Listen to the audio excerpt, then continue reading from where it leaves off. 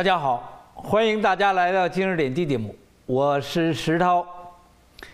高志胜再次露面，给所有朋友带来的震撼力相当大。我在最早的节目当中我说，曾经的高志胜又回来了，呃，是这么讲的。那讲的曾经的高志胜，是指他在写《黑夜黑头套黑绑架》，在上书给温家宝，在公开退出中国共产党的声明当中，你见到的那个高志胜，今天一点没变样，而且更加的清晰，更加的懂得生命的过程，更加的以自己圣洁的灵魂的概念。面对他所遭受的苦难，非常清晰，非常直接，那是真正的中国人的气节和男人，男人应该有的那种那种风范。那你我们看到的这一份风范，我们能够理解到这一切，他所遭受的苦难，正像在所有报道当中，他遭受的苦难是因为他替那些法轮功学员打官司。在二零零六年、零五年，在迫害最严重的时候，在对法轮功侮辱最最漫不天日的时候，他能站出来。那我问今天所有的朋友，是什么样的力量促使他，因为替法轮功学员而遭受的迫害，而今天他却坚持下来？他却认清了中共本身邪恶的品质，这是应该所有中国人，如果你看我有缘看我节目的话，你要你要面对的这个问题。因为很多朋友愿意看我的节目，但不太愿意我提在节目当中提到法轮功的内容。而今天高志生律师是因为这样的内容，而遭此残酷的迫害。那作为每一个正常的人，愿意自己灵魂清晰的人，就应该直接面对这个问题。面对一个你曾经不认可的问题，是一个男人应该有的气节，是一个人应该有的能力，是这历史的必然。没有这样的气节，你走不了未来去。这是做人的准则。这是摆脱高级动物思考之方式和观念的一步。如果没有这种灵魂的上下生命的连带，我们看到的是非常荒谬的场面。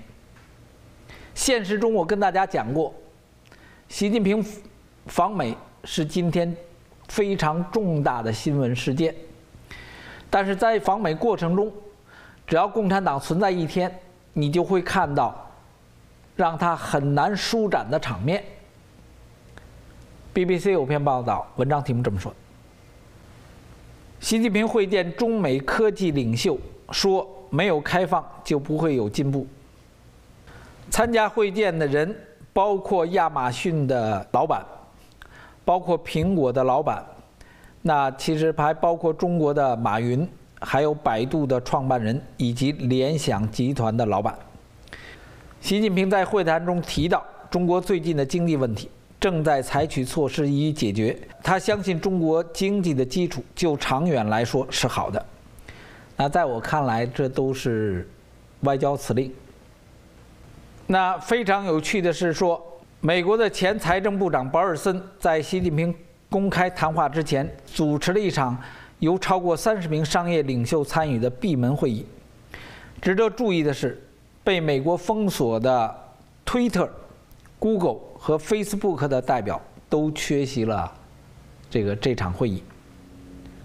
那让我感到非常有趣的就是这张照片：习近平在参观微软企业区时，与 Facebook 的行政长官会面。照片。是正面的 Facebook 的老板，那习近平给了一个后脑勺。我说他非常有趣，就是非常有趣。Facebook 是在中国被封杀的，对吧？那 YouTube、Google 是在中国被封杀的。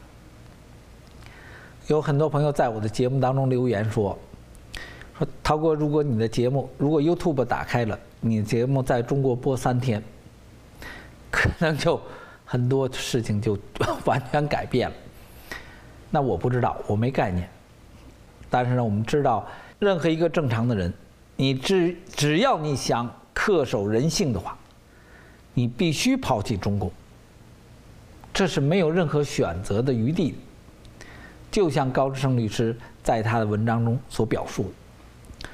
而在国内的微博上，自由微博上，有一个照片，习近平会晤境外最大的反动网站的负责人。引用的是同一张照片。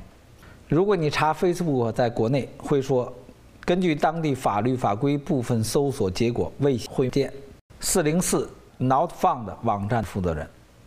那换个角度来讲，今天的执政者见了一个违法的，在中国会违法的这么一个人。所以我跟你说，共产党存在一天。你想按照正常人的生活，你都是违反法律的。这就是共产党的邪恶之所在。共产党存在一天，你想按照一个正常人正常的生活，你就违法了，违反了共产党的法，因为它是高级动物的法，它不是人的。尽管表面看起来是个人样。那再过一两天，习近平要跟奥巴马会面，而中间最大的冲突就是网络攻击、网络黑客的事情。结果法广的转载了一篇在美国刚刚登出来的有关中国黑客的内容，文章题目这么说的：最新的报告暴露，中共解放军与黑客组织有关。而暴露的媒体同样是《华尔街日报》，二十四号。引述了美国网络安全咨询公司最新的报告说，一个名叫葛新的黑客身份暴露出水面，他隶属于中国解放军的一个侦察单位。透过葛先生，美国的专家找到了中共军方七八零二零二侦察单位和一个名为叫做耐克黑客组织之间的关系。那我相信这是人美国人有备而来了，他不是恰在这天才发现的，他一定是早发现了，只是在这个时候登出来。为什么？因为二十五号星期五晚上，奥巴马要举行国宴，欢迎习近平，选在星期五晚上下午，是因为所有的政客都下班回家。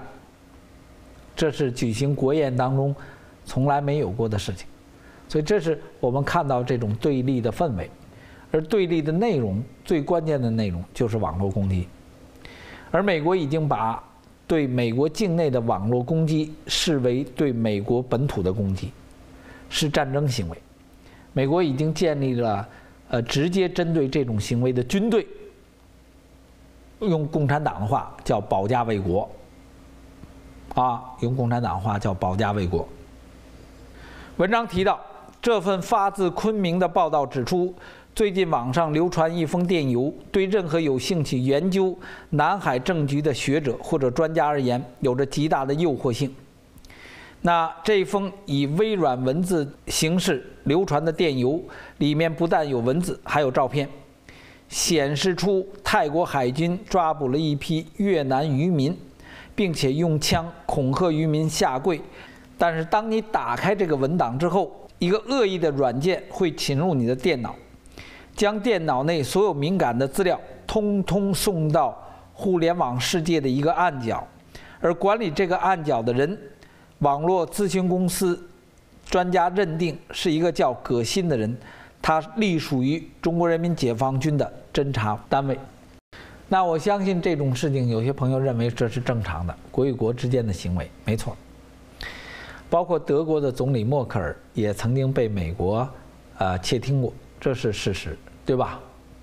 那我觉得有趣的事情就是，这样事情的发生之后，如何面对，如何处理，这是我认为有趣的事情。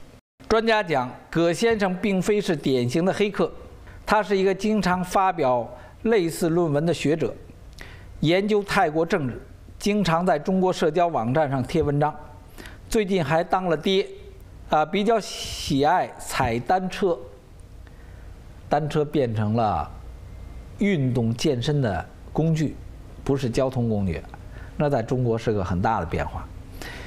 平常开一个德国车，偶尔发表批评呃政府的文章，但他真正的不为人所知的活动是与一群中国的黑客有着密切的联系，而这黑客攻击的目标是美国。最后他总结提到说：“我们所看到就是中国的黑客入侵是一个非常草根的模式，他们拥有很多的组群。”而上头则鼓励他们尽其所能在网络上收集情报。那《华尔街华尔街日报》在这个时候披露这个详细的内容，是为了明天奥巴马与习近平会谈时打基础的。那我个人还是说那句话：当你抱着共产党，当你无论是被迫的还是主动的，你只要抱着共产党。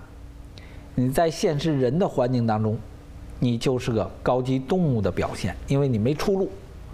这样的表现，自然会被正常社会所唾弃，也自然你会遇到很大的麻烦。原因很简单，不用说高级动物了，那动物园到点还得关门了，是吧？如果动物园都到点关门，跟人得隔开，那你说高级动物会怎么样？这事儿我不太理解。那好，这期节目就到这里，谢谢大家，再见。